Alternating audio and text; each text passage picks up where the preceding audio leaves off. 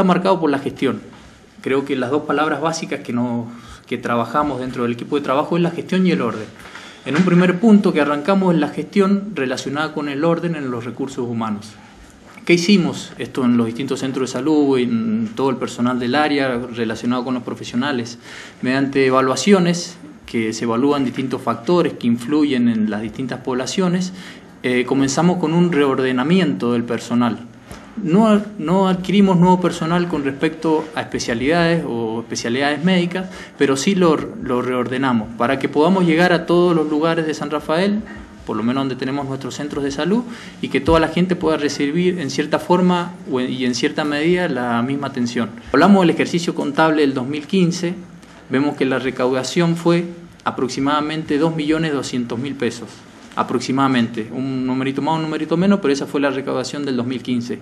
Este año, al ejercicio, a lo que lleva el 30 de noviembre del 2016, hemos recaudado alrededor de 7 millones y medio prácticamente ustedes sacan la cuenta rápidamente y estamos hablando que hemos recaudado alrededor de 5 millones y medio más de lo que se recaudó el año pasado, el ejercicio contable del 2015. Todo el mundo sabe que este año tampoco ha sido un año bueno, digamos, en cierta forma económicamente, pero eso no ha sido un impedimento para que ordenadamente y a través de una planificación estratégica lográramos superar ampliamente la recaudación del año anterior. La plata que yo le hablo entra por dos programas. Uno que es un programa nacional, que es el Plan Sumar, que es un programa que viene de Nación, y lo otro que se denomina es recursos propios. ¿Qué significa recursos propios? Es la facturación y es lo que nosotros les cobramos. Ustedes ven que en San Rafael nosotros, le diría casi que no, yo me enorgullezco porque en realidad yo no pertenezco, no vengo de la parte privada y toda mi vida he tenido mi trabajo en la parte pública.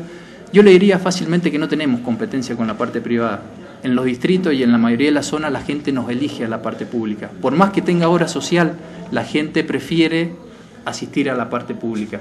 Y esta plata viene de toda esa facturación que se hace a las obras sociales. Tuvimos donde está la oportunidad, sino donde está la necesidad. Llegamos a zonas donde nunca antes habían llegado este tipo de asistencia, como son, por ejemplo, les puedo mencionar Malvina, como les puedo mencionar Punta del Agua.